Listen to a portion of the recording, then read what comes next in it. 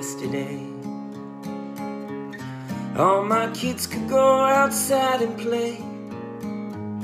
Now I'm their teacher and don't know what to say. Public school just yesterday.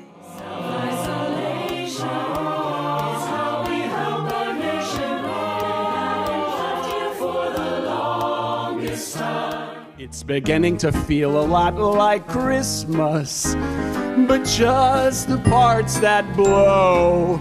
There's a line to get in the store. You're eating a whole lot more, and you're in pajamas now instead of clothes. Cough in your elbow, wash your hands, keep two meters away from me. Wear a uh, mask. Wear a mask. You can craft one really fast. Tie a scarf around your neck. That's what the CDC is asked. As what you're washing hands. Yeah, you be scrubbing, rubbing, disinfecting. Use the hot water cause it's more effective. Can't forget to get the back of your hands, nope. So what you wanna do? What you wanna do? Standing united,